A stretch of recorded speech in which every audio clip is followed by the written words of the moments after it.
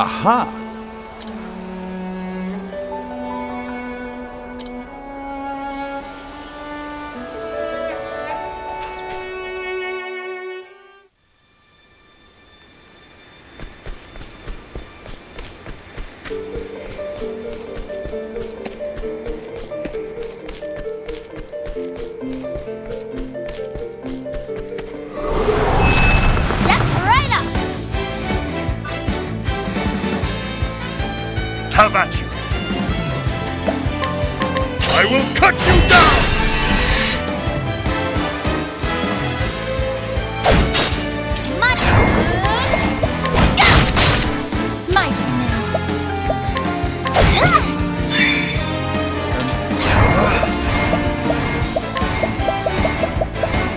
salvation.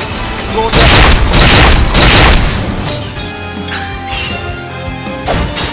victory shall be cursed. With each battle, I grow stronger.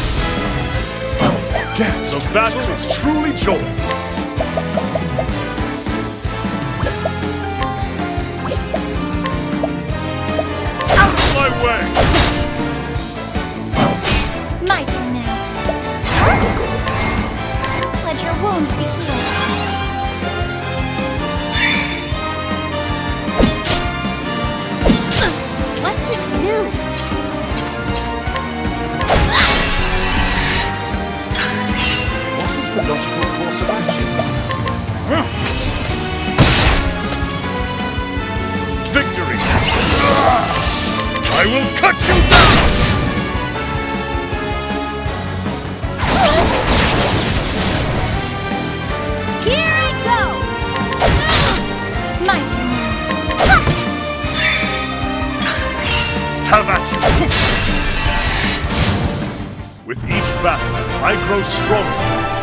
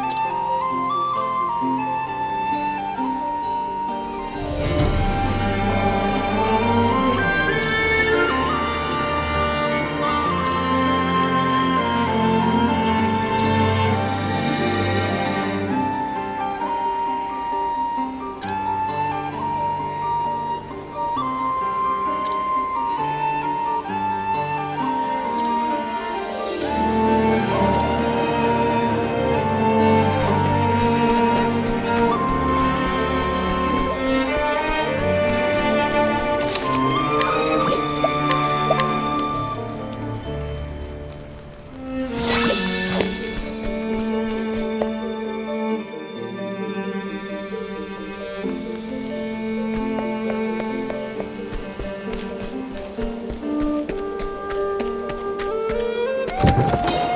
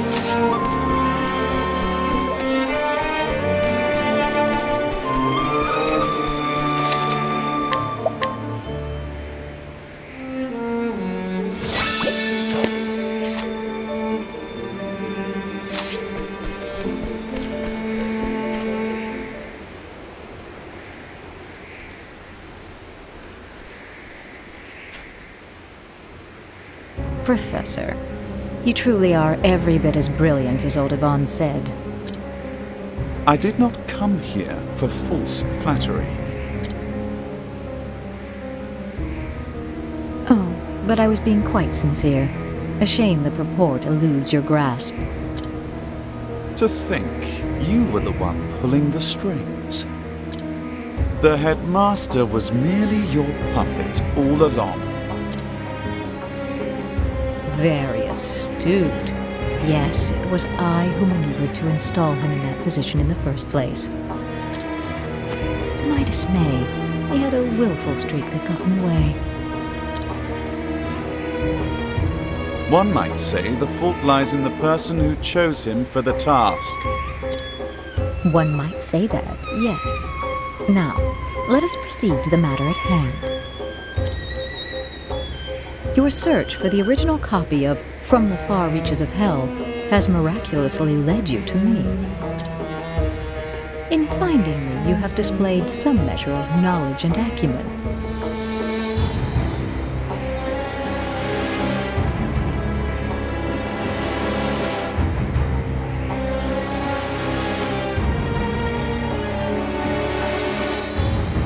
More than you have shown a pure unrelenting passion for seeking out the truth.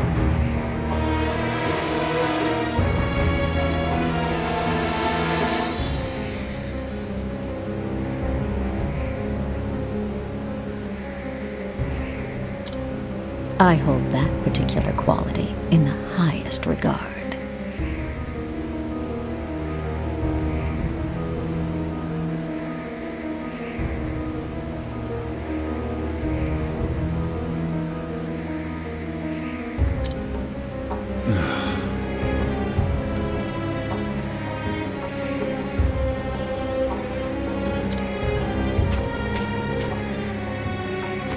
What say you, Cyrus?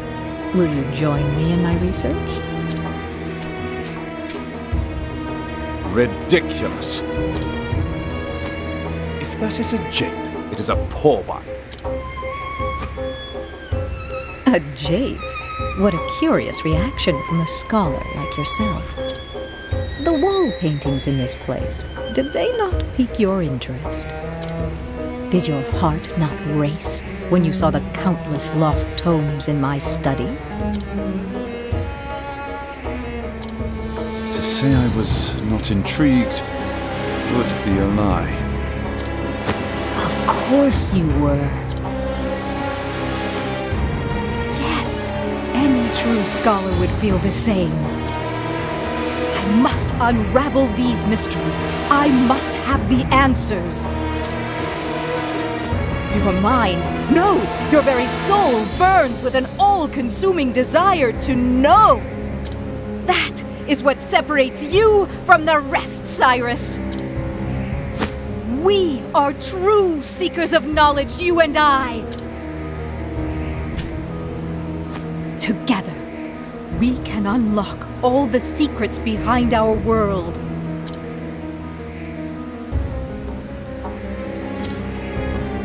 I'll pass. How can you refuse? You covet the mysteries of the universe. You yearn to know the truth. Surely you can stand shoulder to shoulder with me. That's it exactly. What? What is it? Surely you. I take issue with your solicitation.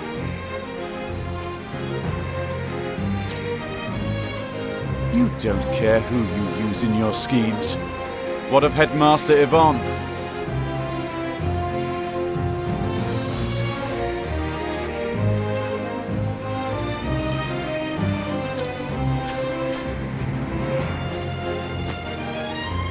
Don't be ridiculous. Was devoid of the passion you have. He was nothing but a pawn to the end, incapable of envisioning an ultimate goal. On what grounds do you base that assumption? Can a man not grow his mind?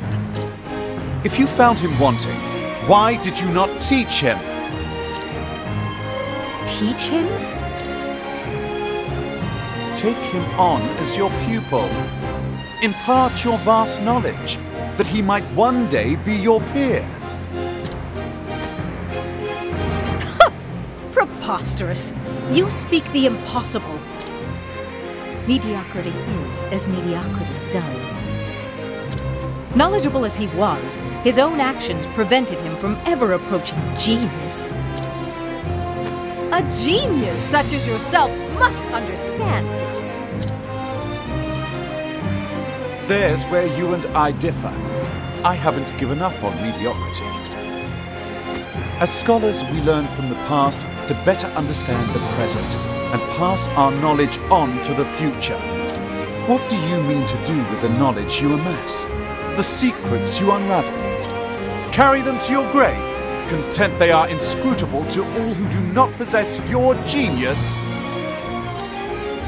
You would call them simpletons, fools, feeble minds. I say it is you who lacks the ability to teach and inspire. A true scholar does not look down on others for what they do or do not know. Those who know impart knowledge to those who do not. If something is wrong, those who know the answer correct it.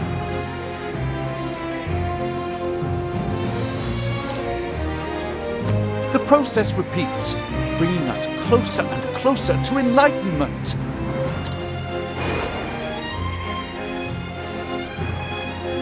I teach my students with the expectation that one day they will surpass me.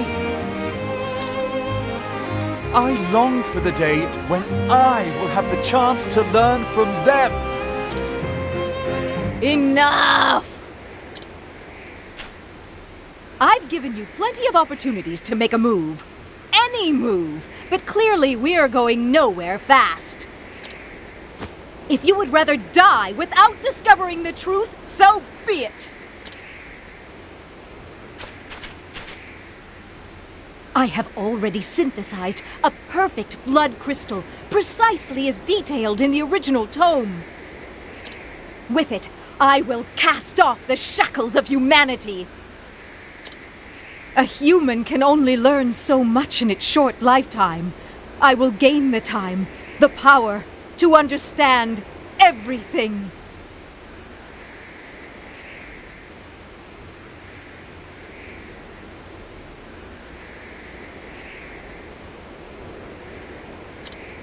You may be a fool, but to show no hard feelings, you can participate in an empirical analysis of my newfound power.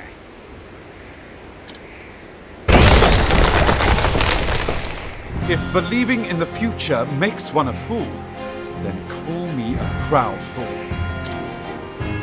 But know this when I emerge victorious, I will unravel the secrets of that tome and arrive at my own answer.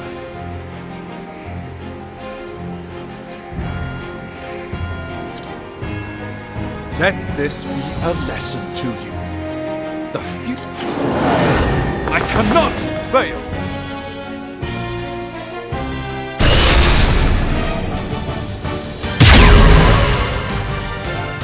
An interesting dilemma.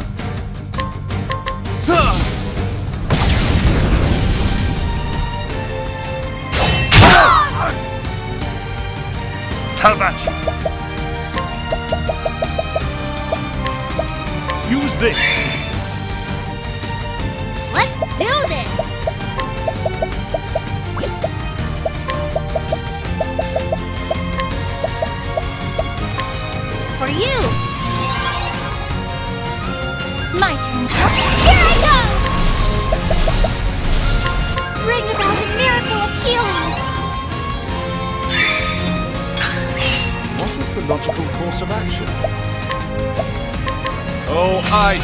Pierce them through! Victory! Out of my way! What to do?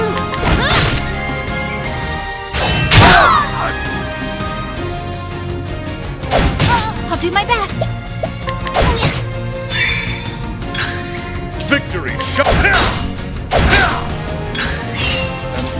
Interesting dilemma. Oh, lightning! Smite them down! Victory shall be mine!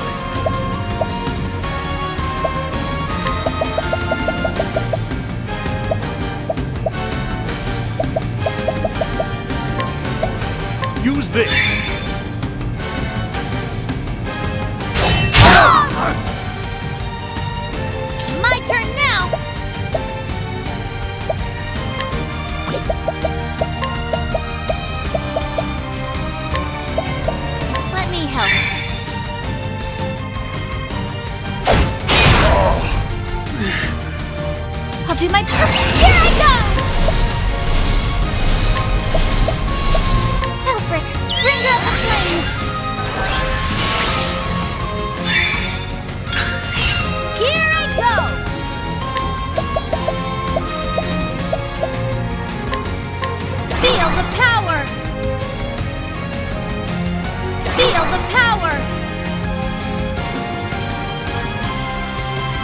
Logical course of action?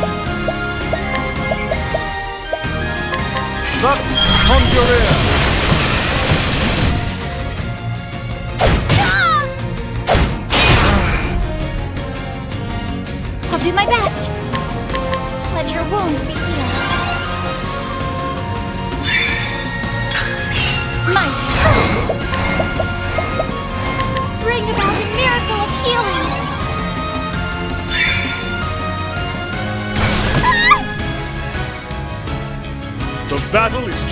Truly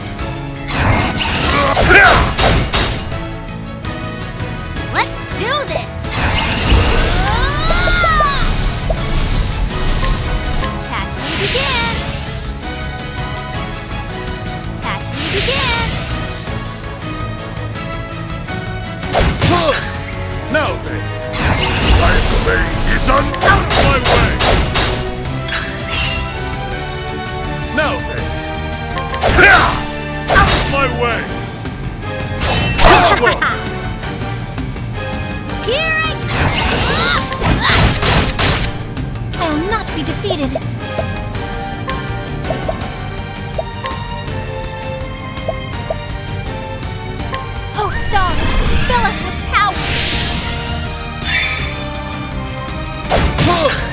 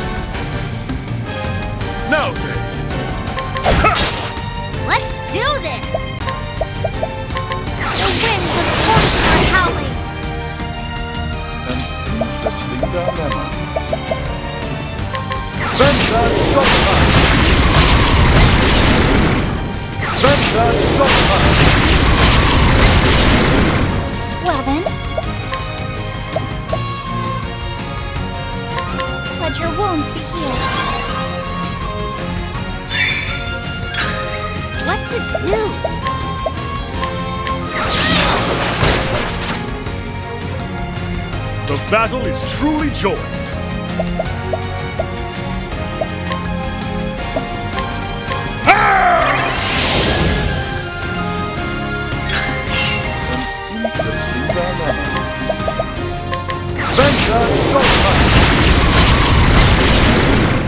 How about Have at you.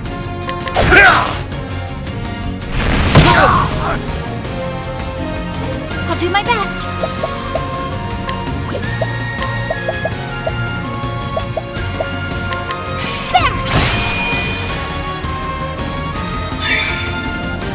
to do.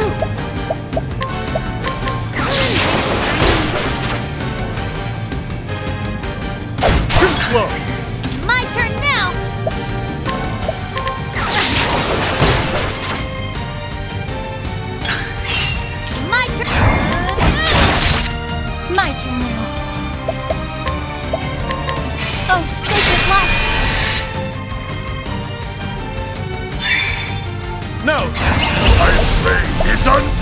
King, I wreak havoc upon thee!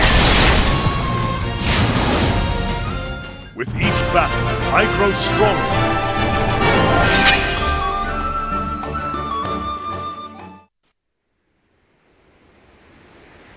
No!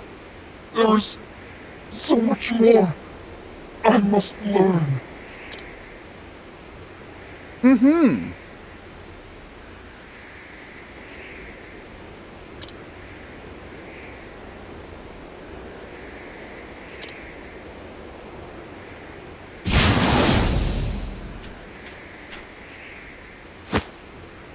Oh.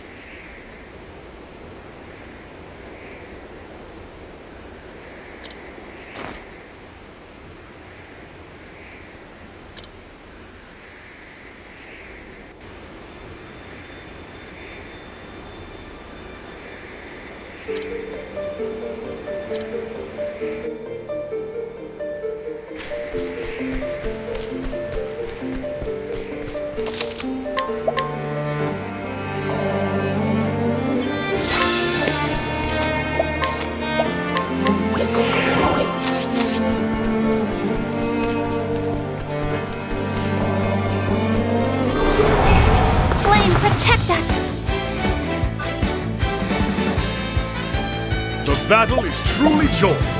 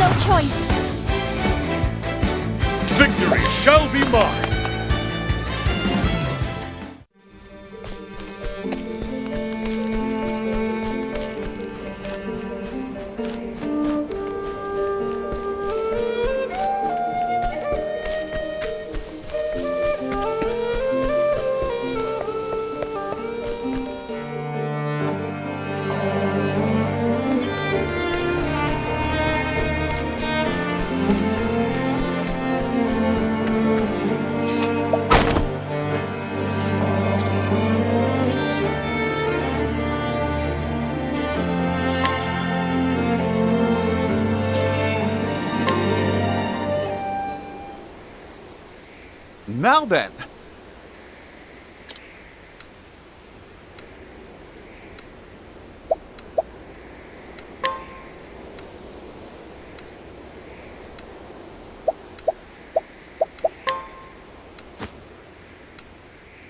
Ah, uh, no.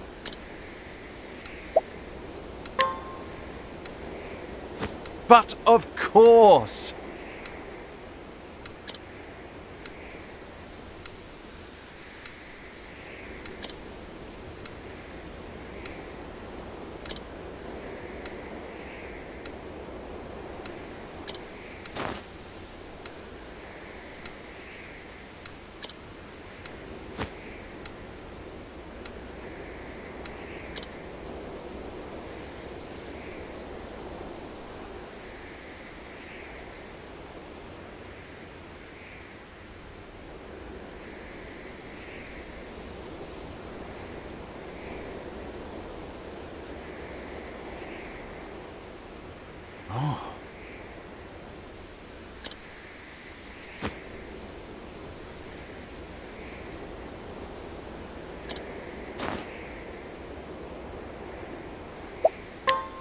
But of course! Indeed. Indeed.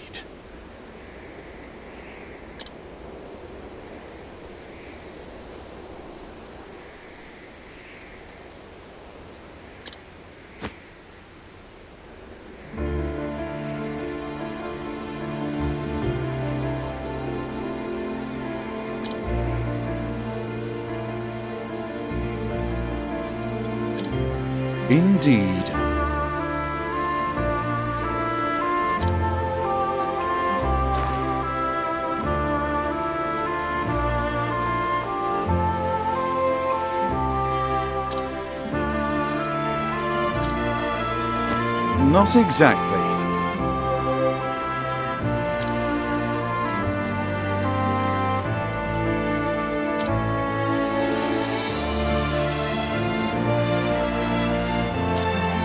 Thusly.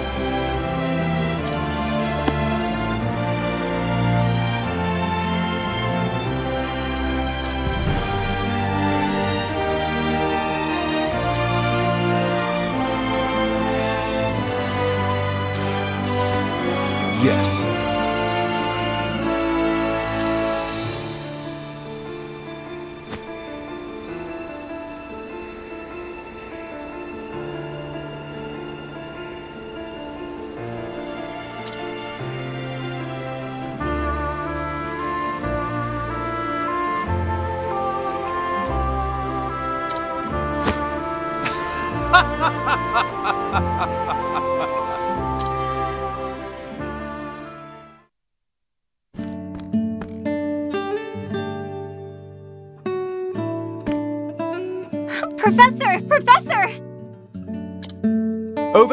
Therese.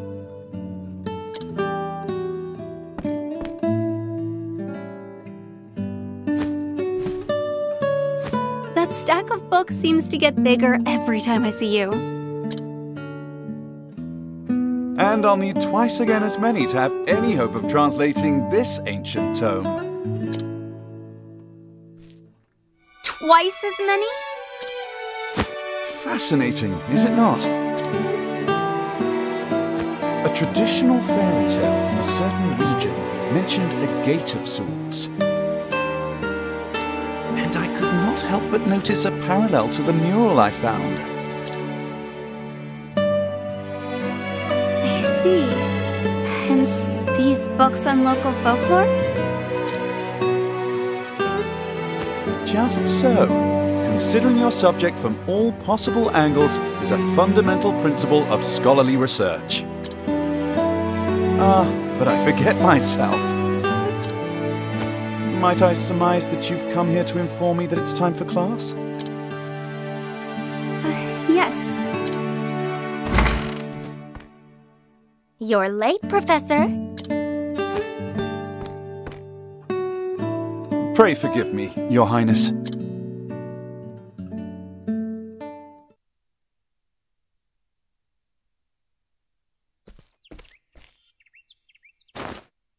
Very well, then, my students. Let us begin. To quote the words of one Susanna Grotov, author of Knowledge is Light The pursuit of knowledge is a journey with no destination. As long as people live, there is always something to learn. And so we learn, we record, we speak. Points connect, thus forming our history, our agency, our identity. This world we live in is not for or of any one individual, and neither is knowledge. And so I write and speak of all that I learned.